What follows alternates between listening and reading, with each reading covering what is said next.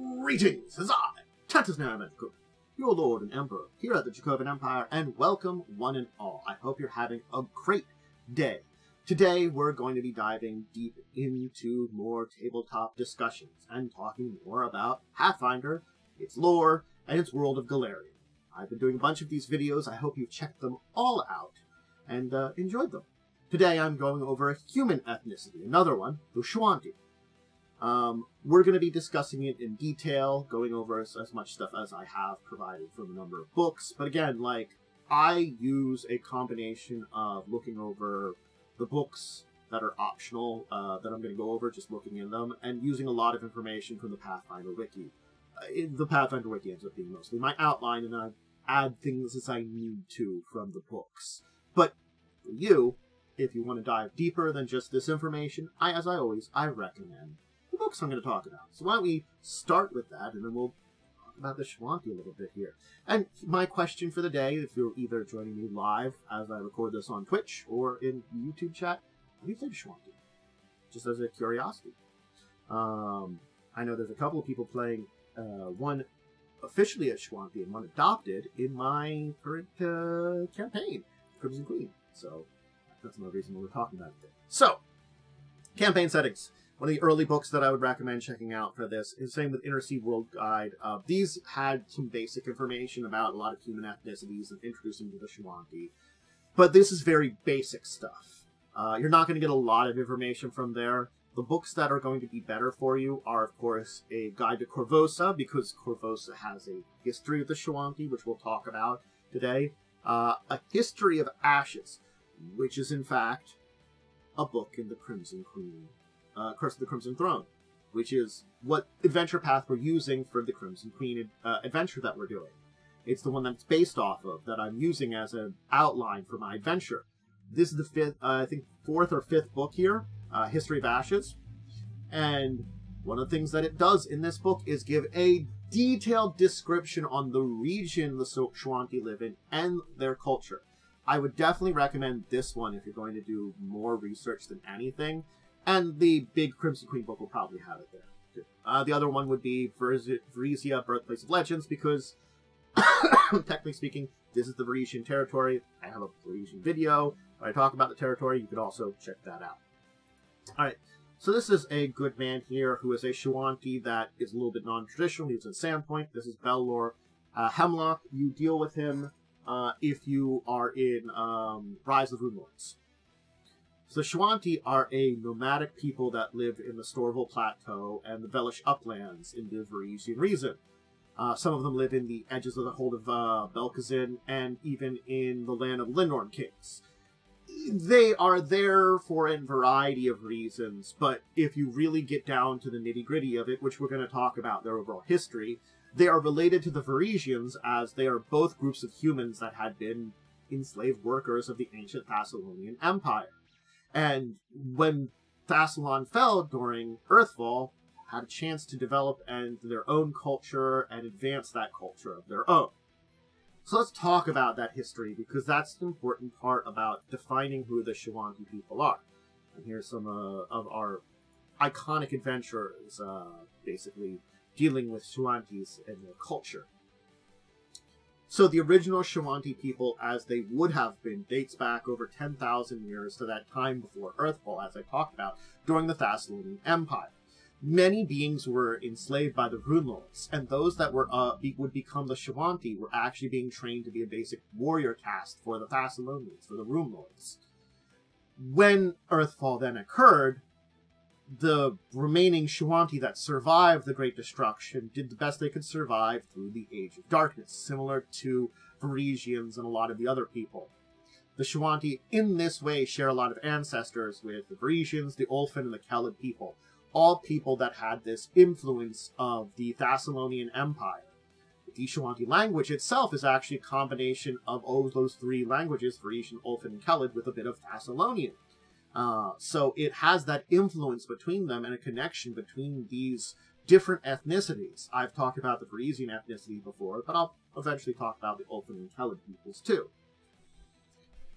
So, within the Varisian lands where their primary settlement was, which is the ancient core of what was Thassilon.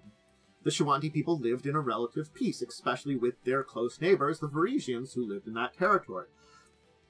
And most of the time, their conflicts came to the monsters and beasts that were in this region.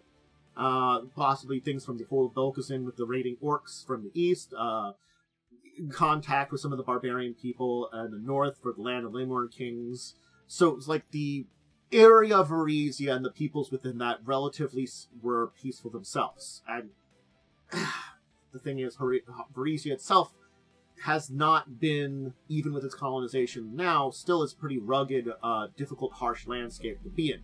It's why a lot of Varisia isn't colonized. It's a very harsh landscape.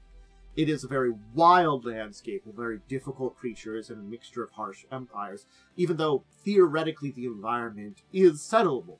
And that's a reason why the Chelish Empire, when they did their expansions, discovered the area of southern Varisia and Bloodsworn Vale, and in 46, 4406 in that area, basically began colonizing there. Because as much as Varisia is a harsh place to live overall, it is a livable place if you would be able to tame the wilderness. It's a dangerous, powerful wilderness.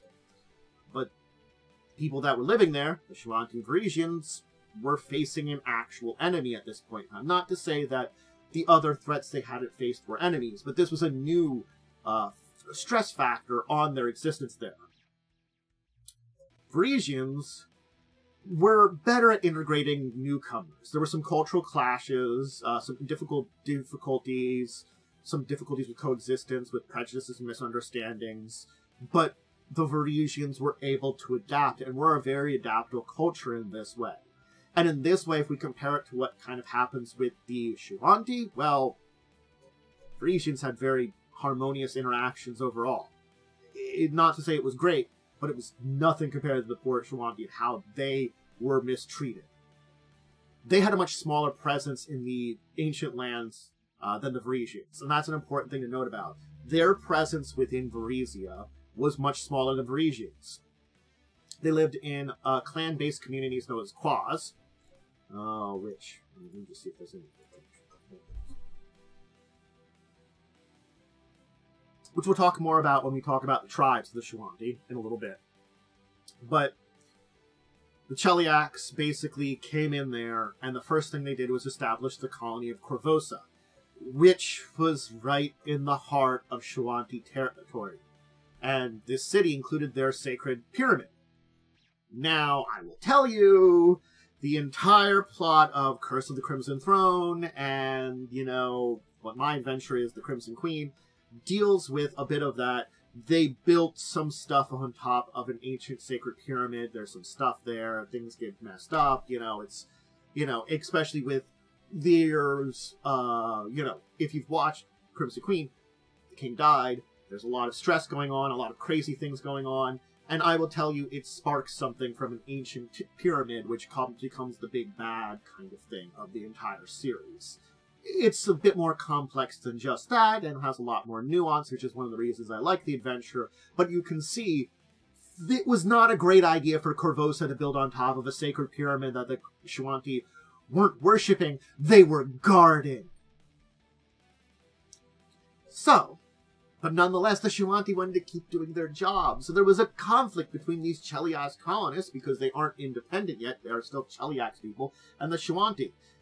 And for many, many years, it was a prolonged bloody, bloody battle between the two of them. And from that time in 4406, it was conflict until about 4488, when this was when the colonists uh, emerged uh, victorious. Yes, linking to the pyramid and the Shoanti people links to the overall plot of some of the things going on. The, though there's a lot more political machinations and things that are manipulative in the system, it's a very interesting series that does actually have a linking kind of narrative of you know things that are going on and leads into the more difficult enemies that you're going to fight. Because like right now you're fighting like you know bandits and thugs and stuff like that and that can be pretty like tough stuff uh, at most. And that ramps up to stuff that you get a lot of levels. Well what can you fight with that? Well you know hey an ancient evil awoken. You know, it's that kind of thing as as part of this entire thing, which is a little bit more. As I said, it's a lot more complex than all of that. but it will be related to that. It, the pyramid is an important part of it. Which is the castle now. so that's another problem. That's the entire thing. These, like, you know, the royals and most of the important nobles are in the place that is this ancient pyramid all the time. Hence why you do have this entire thing that I was talking about, where, you know, nobles, some of them drove the little bit of the violence here too. Is that connected with things that happens at the pyramid, or is it something else now? And you know, you don't know that now, but definitely there is uh, something there. But so, Cheliax won. Uh, the con, the con, these people won, and the Bay of Korvosa is known as Conqueror's Bay now because they conquered this territory. The Laxians did, and Korvosa is the largest city in Varisia of the city states that are there.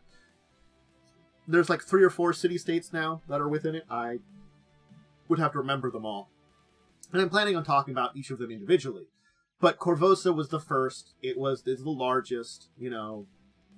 And it's unfortunate that Shoanti themselves had to abandon this homeland and re relocate to even harsher wilderness. Remember, Varisia is a harsh wilderness. So the Shoanti people had spent thousands of years carving out an area in it where they were at relative peace and relative safety. Still had threats from the wilderness, still had threats from other areas, but were relatively peaceful, relatively safe. Now they've been driven in from it, and they were driven to the Storval Plateau, where they arrived in 4507.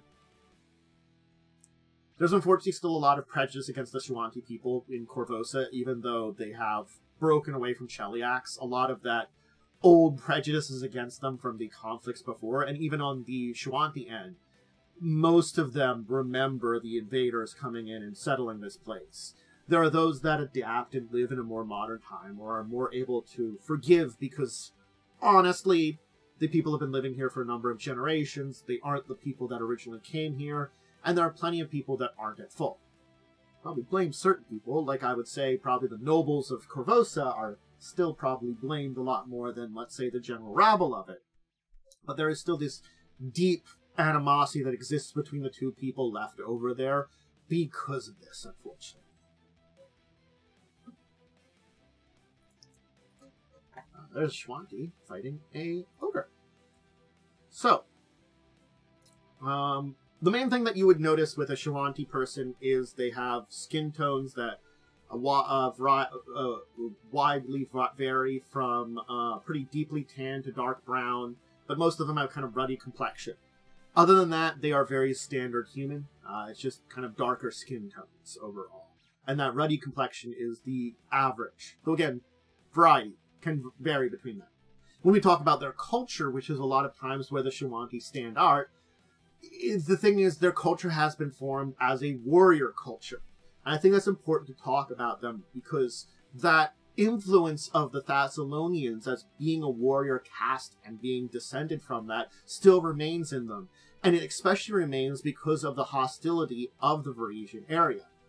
They are nomadic, but they were never nomadic to the degree the Varisians were. The Varisians could easily run from a lot of things, and they have this constant conflict, the challenge of their environments, of the various human and non-human neighbors that they've been fighting against, they have been basically tempered in the forge of combat over these years.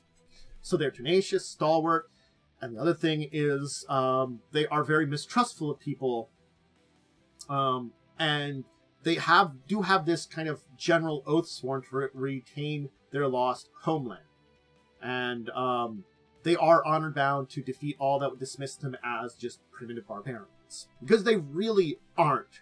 They aren't probably as developed in certain ways as you would say a lot of other inner sea cultures were when you compare things to things like the Taldane, the Cheliax cultures and stuff like that, because they probably don't have a little bit of the uh, scientific developments per se. But it doesn't mean they don't have a deep, deep and rich culture that is comparable to a lot of other groups there. So when it comes to giving a name to a Shoanti, it's very important. They're given a name at birth that's generally the one used during childhood. Uh, and later in their life, uh, a new name is uh, chosen by close family members or lovers. So they have this kind of early name that's their young name where they're a child, and then when they kind of get to that towards adulthood, they're given this like I, I would just you know I guess sometimes it's it depends on the situation. Someone gives you a name, whether it's you choose them to give you a name, or someone in your family chooses them to give you a name, or it's like a lover you're taking when you become like that age where you're getting into adult and taking a lover. Um, but you receive your adult name after rite of passage during adolescence, and that's kind of linking into when you receive it. The who you receive it again, that kind of is varies. If a Shoanti is ever expelled from their tribe, uh, they generally revert back to their birth name, which is a sign of shame among Shoanti.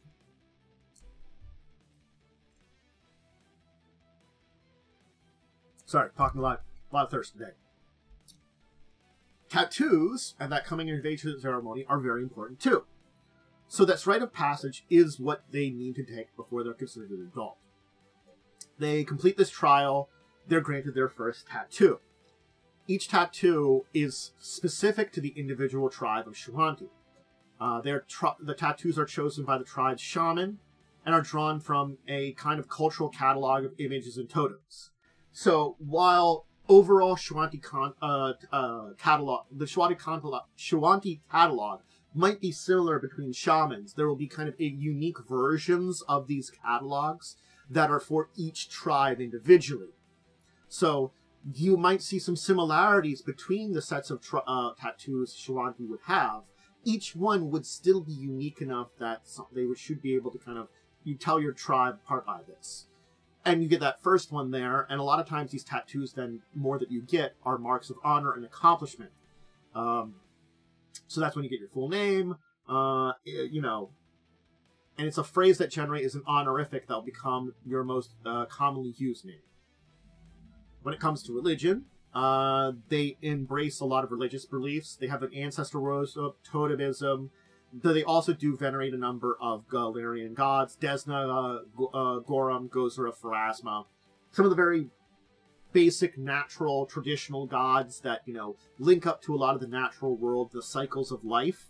They worship them, and then a little bit of that kind of totemism, to- totemism and ancestral worship, which is kind of spiritual, ancestral kind of worship. So they combine these three things into their basic religious beliefs. You know, it, it's a it's a interesting combination of things. Um, there are some common terms for them. Um, you know,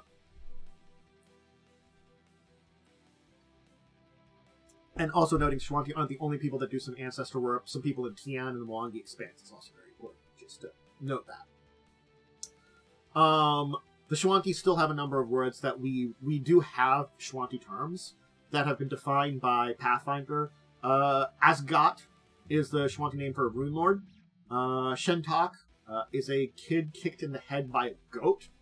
That's quite of a thing. And uh, Tashamek, uh, from the Shoanti language, is a meaning for outsider. Um, and is very much so traditionally used against things like the Chelaxians and their descendants that have, uh, you know, invaded their region. Just a way to keep that in mind. So, I do not have. I'm going to talk about a couple different tribes here.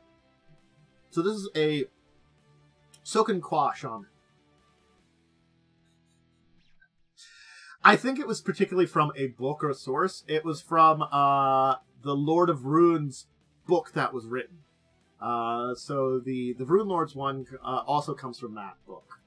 Uh, the uh, Tashmek comes from Edge of Anarchy, which is actually um, the adventure you're doing now in the Curse of the Crimson Queen. So that last term is actually from the book you've been in now. Um, there are some uh, things that are in, in, because the book is organized a lot different than Big Book. Uh, in the original one, they did give some information on some of the uh, in Korvosa itself, which includes the there's a Shoanti population Korvosa, some information on them, and it's revealed there. Yeah, yeah, yeah, yada yada yada yada. Doesn't mean that you can't interfere. You can't run into them during your adventures here. I have information where Shoanti are in Korvosa. You just haven't had to go there. Might, maybe not. So, there are seven main tribes, or quas, of the Shoanti, and they do have a common heritage, but they are still very different from each other in a lot of the ways that they have traditions, beliefs, and worldviews. Um, in most of the cases, loyalty to one tribe is paramount to the life of Shoanti. Um, but what this means to an individual member of the clan, the tribe, is very specific to that individual clan. Um, there is occasions where Qua will adopt a non-Shoanti into the tribe, but it will never be an orc, half-orc, or Chelaxian because those are seen as enemies. Because there's been the constant battles with the Holes Belkazin, which is a neighbor of them, and what's happened with the Chelaxians. So that's why it was very acceptable for someone like uh, either Worm, who's here in chat, whose character in the Crimson Queen is a different species, and from originally people were from the Mwangi Expanse, to be adopted as Shoanti when they're traveling parents passed away. Um, some scholars do view the Ulfen descended horsemen of the Velish uplands as almost their own official eighth qua of the Shoanti. Um, but the Shoanti kind of separate themselves from that kind of suggestion. It doesn't mean they might have a not of a common ancestry, but this group here might be more separated out into cultures, kind of dating back with a separation for much more in the past. That doesn't really make them Shoanti anymore. Um, so open war between these quas for resources, land, and politics are actually really rare, and it's seen as very distasteful.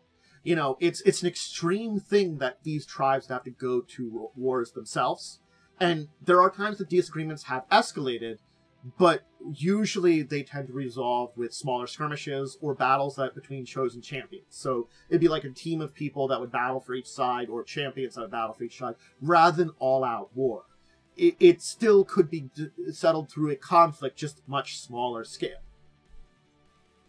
So let's talk about the different tribes of the Shoanti. First off, we have, I'm going to butcher some of these, I'm going to try not to, uh, the, the the Moon Clan. Uh, they're the best archers and hunters of the Shoanti. Uh, they travel under the bright Storval moon and hunt by the illumination of the stars in the vast Varisian sky. Uh, they're recognized that a well-aimed arrow is as effective, if not more so, than a whole band of raging brawlers. They have a territory in the Cinderlands of Varisia. Uh, typical tattoos from them invoke Night, Sight, Wisdom. Uh, prestigious runes include uh, Narvik, the Eyeless Sight, Ion, the Great Moon, and Vinnic, the Piercing Stone. Animal totems are hold, held in high regard for them, with uh, bat, cave bear, field mouse, mountain lion, owl, and wolf being very important, nature totems of uh, moon, rainstorm, and stars are also revered amongst them. So that is your moon clan.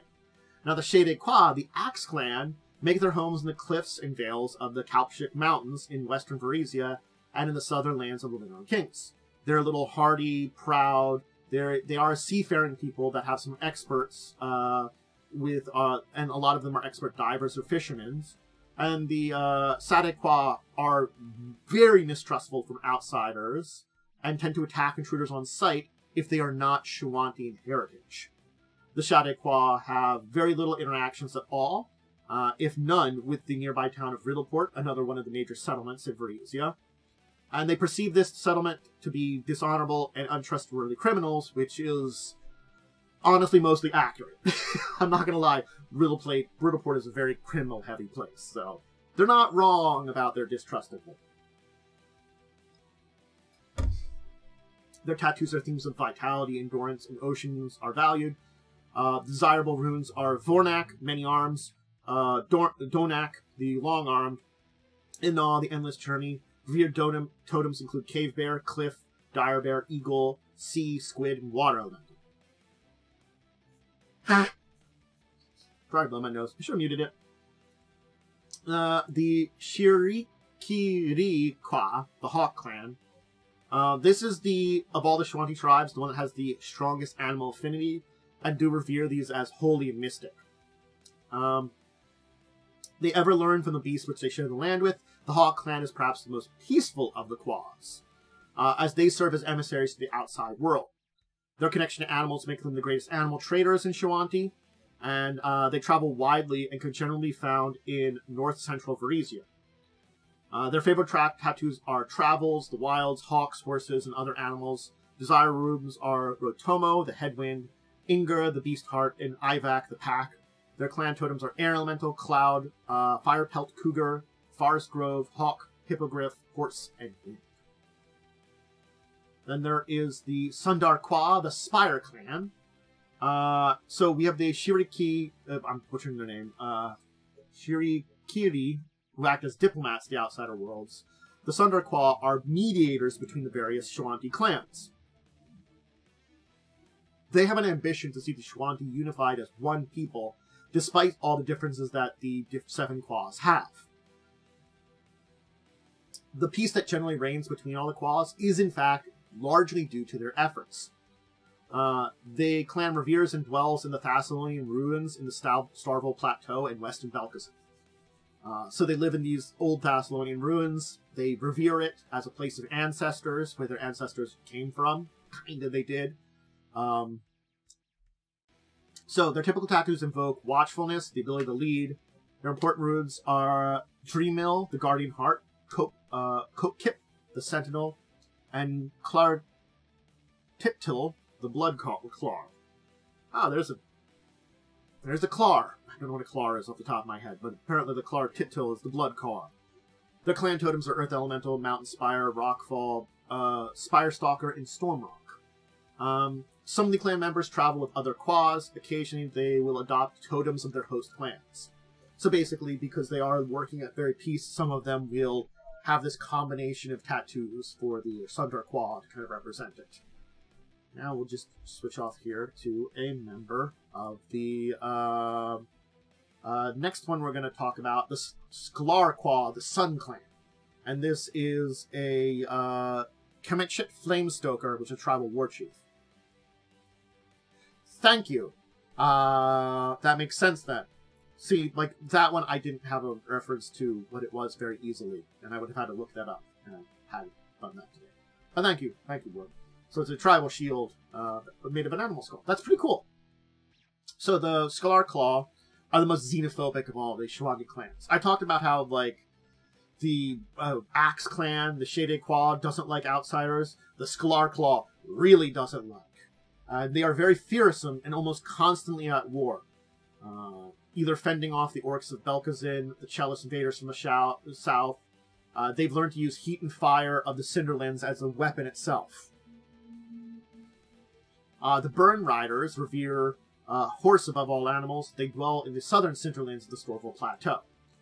The tattoos that they revere are showing flames in battle, especially comprising of the runes uh, Damkill, Orc Skull, uh, Ak Miz, Firehand, and Razkiv, Ember Skull and popular totems are Aurochs, Cinder Snakes, and Ember Storms, Fire Elementals, Cougar Pelts, and the Sun. We only have two more clans to talk about. Skoan-Quah, the Skull Clan. Their lives around lives in the Skull Clan revolve around death. Whether fighting against undead, acting as guardians for uh, dis, uh, the descendants of the for the deceased among the clans or tracking the oral history of the Shoanti people. They're kind of got this enigmatic and sinister members of the Skull clan as a reputation, and they are sometimes troubled. Uh, um, they're sometimes troubling to even most understanding of their fellow Shoanti. So they are the ones that fight undead. They lead. They lead the ancestors. You know, uh, guardians of the deceased.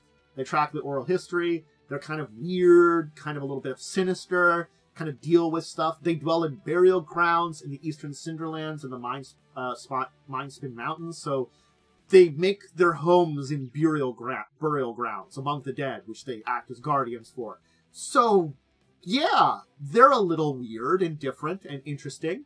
Um, but, you know, they're not terrible. They actually have a good job and they are proper guardians in what they do. And they do track history of all the Shoanti people. So it's sort of like as much as they are living amongst the dead, they respect the dead in a very interesting way. So kind of kind of respected them. Uh, bones and skulls are their favorite tattoos. Popular runes are Smos, the forever dead, uh, Ere, Duty, Grax, Eternity. Uh, revered totems are Ancestor Spirit, Earth Elemental, Giant Scarab, Beetle, Vulture, Will-O-Wisp, and Wolf. And then the final clan is the Tamiir-Quah, the Wind Clan.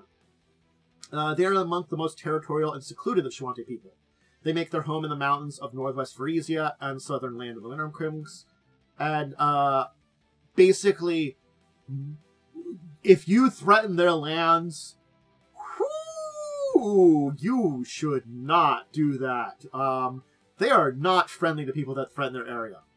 Um, most of the time, they only interact with outsiders when they raid lowlanders for supplies. So, yeah. Uh, their tattoos often reflect speed, freedom, mountain homes. Uh, runes of significance are Draw, Mist, uh, Sivlat, uh, Wind Soul, and uh, Sovala, the Rock King. Their main totems are Air Elemental, Cloud, Griffin, Mountain Peak, Snowflake, Storm, Storm Rock, and Wind. So, yeah, there's the Shoanti for you. Um, hope you got a good idea of them and their people. These people that are very interesting because whatever original history most of the people that the Thassilonians enslaved were, they brought them to the area of the Thassilonian Empire. And once it fell because of uh, Earthfall, these people were left to develop on their own and develop cultures on their own. And many of them have cultural connections to each other and the territory that they came from. You can tell that whatever the Shoanti were originally, this warrior culture was kind of instilled upon them over generations of being controlled by the rune lords. Becoming independent on their own hasn't changed that to a degree. It's already been ingrained in there, but certainly they've allowed to develop an interesting culture on their own. They respect where they came from. They respect the different spirits and elementals in the world. And they still respect a number of the more elemental primal deities that are out there. These are very primal things. When I mentioned Desna, Gorum, Gozreh, Pharasma, they are more primal deities than a lot of other ones. Uh, Desna being the uh, a goddess of you know dreams and travel and freedom, which kind of reflects upon their uh, way of doing it. Gorum, a god of battle. Gozreh, a god of nature, who connects up with a lot of their spirits, and Pharasma, the goddess of death. And some of them are the goddess. But see, we have battle, you know, travel, dream or uh, travel and dreams, nature, and death. These are all important parts of them. Ancestor worship connects up with death. I'm gonna mute for a second. How to cough then. Connections with things like Gorum, connection with their culture, Gozreh, their totemism, and even Desna with their way of life. Though they have these kind of set groups, they are still in general, a often nomadic people. Not to say that each of their different uh, tribes doesn't have their central areas where they don't move from. They do have this way of probably moving around a lot within their territories and things. You might have more permanent settlements or semi-permanent settlements, depending on the different tribes. But it is connected with this idea of these deities that are old deities that connect up with a lot of what was going on within Thassilon, connected with maybe maybe totemism and ancestor worship are something that the original people that were connected to the Shoanti that would become them had in them. Stuff that they remembered in their time for Thassilon and evolved with the connections with more with more deities as they were kind of discovered. It's hard to say exactly because we don't know a lot about what was going on pre-Thassilon. Thassilon's enslavement and control of a large portion of Avistan shaped the empire, shaped the continent, and shaped a lot of the humans that lived in that continent. Their influence was major. And the Shoanti are one of the people that feel it still today. And certainly more in recent years, the battles against the Chelaxians and the loss of their lands and their homeland has hurt them very much. And it's interesting to see that, like, their different tribal groups have felt more of it. And certainly, probably some of the tribes were more spread out, have felt less of the influence of these outsiders, but they've seen what's happened to their brethren and probably don't really like it per se. And yes, you do have those that still try to like find a peace with this entire thing. Certainly, members of the Hawk clan, the uh, Shriikirri uh, Shriikirri Quah, are members that most likely would seek peaceful resolutions rather than that. They're connecting with the outside world. And they most likely are realistic in the thing that you can't really get rid of the people that are living there now. That's an impossibility. You know, the two cultures are going to have to get along, and even if they want to partially reclaim their homeland or be connected with it, they have to work with these people. But plenty of the other groups are more violent. It's each one of these, though they have a similar culture, are very unique and different to each other, which is interesting about the Seven Quahs. They are unique in a lot of the ways they do it, and you know, some places you don't want to visit, you get you'll get hit because you're invading their territory. Some places you don't want to visit because they're going to think you as invaders. Some places are just violent to other peoples, and then some will just welcome you as a friend. You don't know what you're going to get unless you understand the Shoanti culture, which is a very interesting and deep culture. There's there are plenty of details on Shoanti culture we don't necessarily have, which is very interesting. We have this big chunk of it that does show us a lot about how they work, especially how the different quahs work and plenty of their things like their tattoos, their naming ceremonies and such. This gives us an idea of the Shoanti, but doesn't give us everything about them. And it would be interesting to see more about them in the future too. But yes, I think that's this is a great place to leave it here again, the question for the day, uh, if you were in chat here or in uh, on YouTube, hey, have you played a Shoanti or been in a game with one? Let me know about an experience you had with people in the Shoanti culture and your interest in it. Um, other ways to support the channel, hey, up, you're up on Twitch. You follow, be good. If you're on YouTube, uh, subscription there, liking the video, the comment, as I said, you know, the bells, all that kind of jazz that they have. I have a Discord and a Twitter.com if you want to contact me socially immediately. Um, whew, if you're looking for when I'm talking about these things, if you want to join me live on Twitch, I stream them and record them every Tuesday, Thursday, Saturday. Tuesday, Thursday is usually in the afternoon, normally between 1 and 2, though sometimes a little earlier, sometimes a little later, depending on life schedule. Uh, but we'll usually be on those days. Uh, Thursdays usually Pathfinder stuff, and then Saturdays uh, late morning, uh, around eleven o'clock normally. So that's a lot more exact on schedule, and that's usually World of Darkness stuff. Uh, Tuesdays the variety stuff. Other tabletop stuff. Hey, I mentioned the Crimson Queen a bunch of time. Where we've got some people doing uh, be, being members of the Shoanti. That's Wednesdays, 9 p.m. EST. Check it out. It's a Pathfinder First Edition game that we're doing based on the Curse of the Crimson Queen. I'm using that as a guide, uh, basically an outline and guidebook, and then we're just doing an adventure on our own. And it's been very fun and interesting, and I feel like we're finally hitting our stride with it. So definitely check it out. This was a good week this week. We should be up recording this week.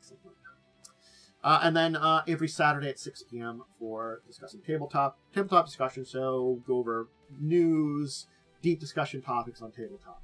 And the only other thing I can shout out is I do gaming streams on Mondays, Wednesdays, Fridays. If you want to check those out, those are fun. I chat a bunch. Anyway, I'm gonna get going. I still have one more of them I'm going to do today, so uh, you know, check those out as they're coming up on the week. But until the next time, I bid all of you out there farewell.